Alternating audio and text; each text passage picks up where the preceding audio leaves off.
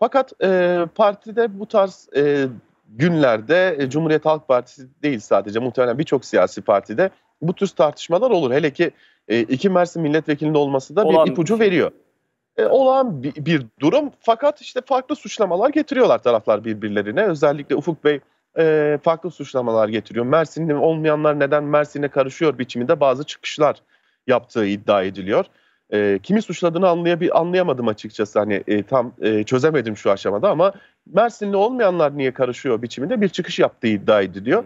E, e, diğer PM üyeleri oy kullanırken onlar yani hepsinin Mersinli olması tabii beklenemez. Acaba oy tercihleriyle çok kafa kafaya geldi de birkaç aday başka ilin oyuyla değişti. Bu da yani herhalde yatsınamaz bir gerçek.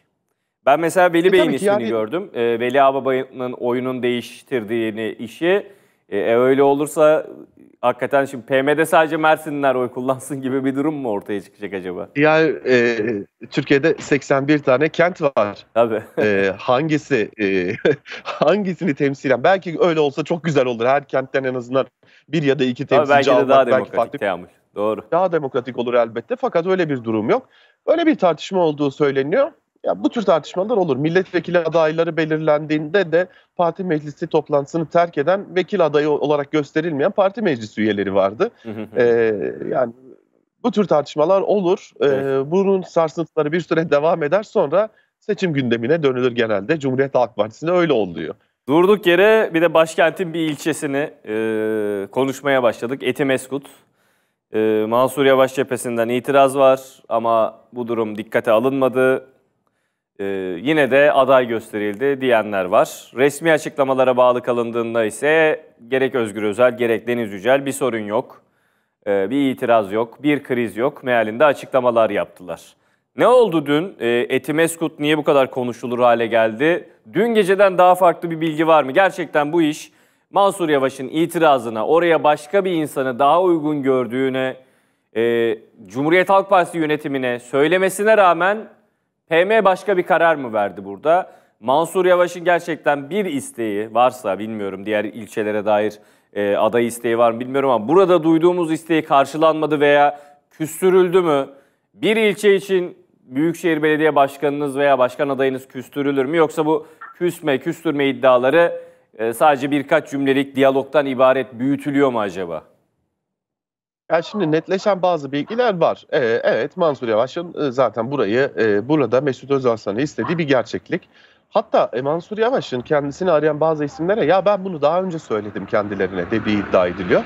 E, ve dün ve bir toplantı yaptı. Bu kararı kararda e, CHP yönetiminin e, kararlı olduğunu görmesi üzerine ekibiyle bir toplantı yaptığını biliyoruz. Artık bu da net. Fakat o toplantı sırasında arayan isimlere de hayır adaylıktan çekilme gibi bir durum söz konusu değil. Sadece bir değerlendirme yapıyoruz biçiminde bir açıklaması olmuş. Fakat bir kriz olduğu, bir çözülmeye çalışılan e, durum olduğu elbette ki bir gerçeklik. Zaten Erdal Beşikçioğlu da dün CHP Genel Merkezi'ne gitti. Yani e, sadece Mansur Bey değil, Mansur Bey ile ek olarak e, Erdal Beşikçioğlu da CHP Genel Merkezi'ndeydi. Tam da MYK toplantısıyla PM toplantısı arasında. Orada bir uyum yakalanmış olabilir mi? Yani Erdal Bey ile Mansur Bey görüşmüş olabilir mi? E, onu bilmiyoruz. Yani bu konuya dair daha net bir bilgi yok. Fakat dün bir kriz oldu. En azından az hasarlı atlatmış gibi görünüyor. Cumhuriyet Halk Partisi bu aşamada krizi. E, fakat e, daha başka ilçelerde Mansur Yavaş'ın aday e, olmasını isteyeceği başka isimler ortaya çıkabilir mi? Bunun da söz konusu olabileceği yine milliyetçi e, oyların top, e, toplandığı Polatlı gibi yerler olabilir. E, buralarda adayın belirlenmesinde yine e, Mansur Yavaş'ın e, taleplerinin dikkate alınacağına dair bir bilgi de söz konusu. Peki bir de açıklanmayanlarla finali yapalım. Mesela İzmir. İzmir niye mevzu bahis değil? Antalya'yı anladık tamam ama İzmir anlaşılan MYK'da öyle böyle konuşulmadı. Tamamen e, diğer haftaya bırakıldı, diğer toplantıya, diğer uzun gecelere bırakıldı diyenler var. Öyle mi gerçekten? Bir de İstanbul'un evet, yani... CHP'nin elindeki ilçeleri var. Oralar da merak ediliyor. İkisini merak ediyoruz. Şimdi bu hafta biraz e, hararetli geçti. Şimdi adaylar açıklandığı için örgütlerde bir kaynama olacak ister istemez. Çünkü her örgüt içerisinde başka başka isimler destekleniyordu. Bunun bir hafta boyunca dinmesi beklenecek. E, görüşmeler yapılacak, genel merkeze gelinecek. Bu dindikten sonra iddia o ki, e, yani e, duyduğumuz da o ki önümüzdeki haftada İstanbul'un ilçeleri e, gündeme gelecek.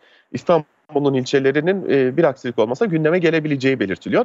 Olursa bir e, kaynama da o hafta olacak fakat İzmir konusuna hakikaten hiç girilmedi. E, girileceği de benzemiyor. Yani herhalde CHP yönetiminin elinde olsa yani biraz daha girmemek için ellerinden geleni yaparlar. Çünkü en büyük kaynama orada olacak ilçelerle birlikte. E, bir ihtimali olarak da şu değerlendiriliyor. En son hafta Cumhuriyet Halk Partisi'nin elinde bulunan İstanbul Bele e, ilçe belediyeleri ve İzmir Büyükşehir'in e, o zaman değerlendirilebileceğine dair de bir iddia söz konusu. Burada da farklı gerekçeler var. İşte örgütü küstürmemek, örgütün bu sırada örgütü hazırlamak, örgütün gönlünü almak. Yine e, buna ek olarak biliyorsunuz bazı yerlerde değişecek belediye başkanlıkları. Ee, bunun az biraz da olsa bilgileri gelmeye başladı. Ee, bir yerde belediye başkanı değiştiğinde o belediye başkanıyla uyumlu çalışan memurlar yeni gelecek isme kadar e, aslında çok sayıda evrağa imza atmazlar. Bu riski almazlar. Bu bir e, doğal bir reflekstir. O durumun da biraz ertelenmesi, biraz da hizmetlerin aksamaması için aynı zamanda bu ertelendikçe erteleniyor. Ama en uzun gece İzmir'in İzmir'in ve ilçelerinin e, belirleneceği gece olacak. Çok sayıda aday var. Çok sayıda aday adayı var. Aday adayı olmayı da ismi geçenler var. E, o gün muhtemeldir ki MYK'dan ve parti meclisinden dışarıya çok farklı bilgiler yansıyacak.